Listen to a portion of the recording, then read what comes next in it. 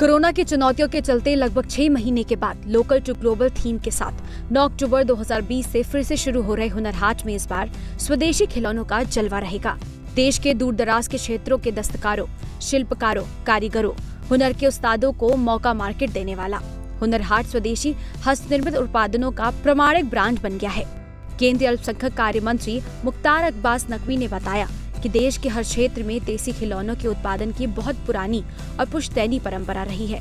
वह अब लुप्त हो रही थी। प्रधानमंत्री नरेंद्र मोदी द्वारा स्वदेशी खिलौनों को प्रोत्साहित करने के आह्वान ने भारत के स्वदेशी खिलौना उद्योग में नई जान डाल दी है।